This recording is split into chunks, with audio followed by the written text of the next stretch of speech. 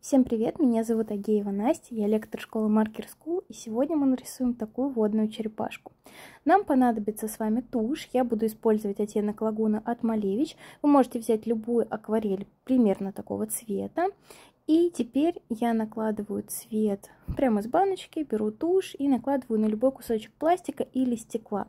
Прикладываю к бумаге, нажимаю и еще немного распределяю цвет по всему листику еще немного пшиков.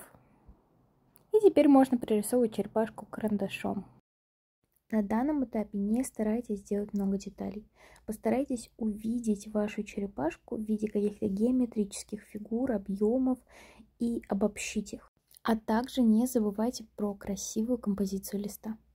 Осталось самое интересное. Это прорисовать общий силуэт и, конечно же, обратить внимание на детальки.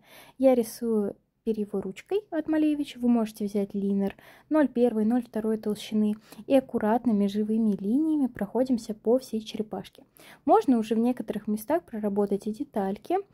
Не зацикливайтесь на какой-то определенной части черепашки. Нужно двигаться по работе равномерно. Немного порисовали голову, немного панцирь, немного шею, и тогда работа будет выглядеть свежо и очень интересно. Каждую линию старайтесь проводить не похожей на предыдущую. Она должна быть очень живой, очень реалистичной. Не старайтесь делать ее а, ровной, прямой, угловатой. Нет, в ней будут какие-то волнообразные такие мотивы. Она будет а, немного рваной в некоторых местах, и это здорово. Подобная техника сделает наш скетч очень особенным, очень оригинальным и не похожим на остальные.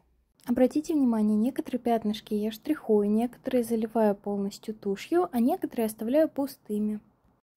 И добавляю немного штриховки, теневые места, так, например, на шею и еще немножечко под панцирь. Остается дело за малым, это проработать все детальки, еще немножечко добавить фактуры, и черепашка будет готова. На ластах стараюсь нарисовать максимально красивый сюжетик. Это квадратики, кружочки, которые переплетены между собой и создают интересный узор. На данном этапе очень важно деликатно штриховать и не перетемнить работу. И вот мы уже на финишной прямой, остались всего несколько маленьких штришочков и все готово. Рисуйте вместе со мной, участвуйте в конкурсе, буду с нетерпением ждать ваших работ.